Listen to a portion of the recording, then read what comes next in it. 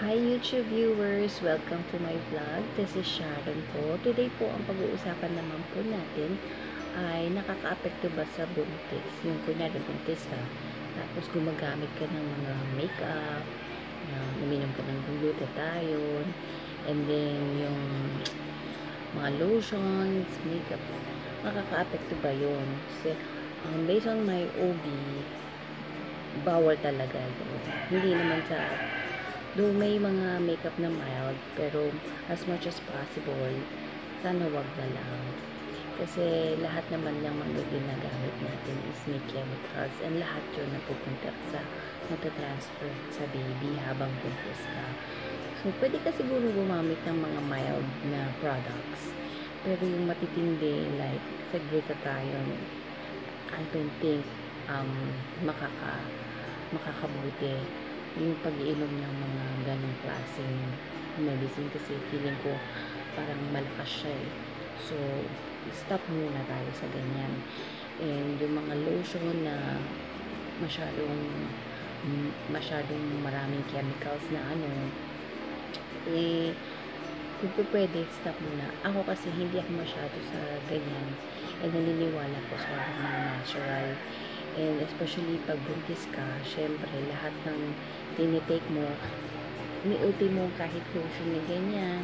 Kasi syempre na-absorb ng body mo yan. Na, na, na pupunta yan sa kay baby, sa loob ng tiyan. So, as much as possible, mga vitamins lang na ang iti-take mo and hinahinay lang sa pag-a-apply ng mga makeup and lotions. Pero kung sa trabaho mo naman talaga yan, make sure na minimal lang siya. And um, hindi naman siya sobrang um, ilang buwan ka lang naman din, di ba? So, eh, basta isipin mo lang yung kapakanan ni baby mo sa loob ng tiyan mo. And marami ka ng chemicals everyday na tinitake and um, siguro naman hindi naman kalakihan na isacrifice mo yung pag, pag, pag, you know, yung pagtitake ng mga mga beauty products, ganyan. So, huwag muna. Focus. Yun lang ang best na advice ko muna. Kasi for baby naman yan.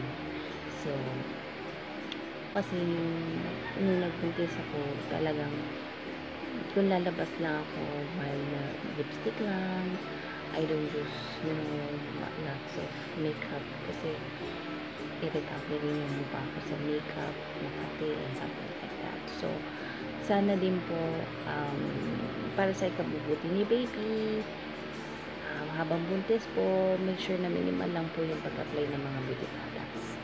So, yun po. So, don't forget to subscribe po to my channel. Thank you for, for watching and have a good day. Bye!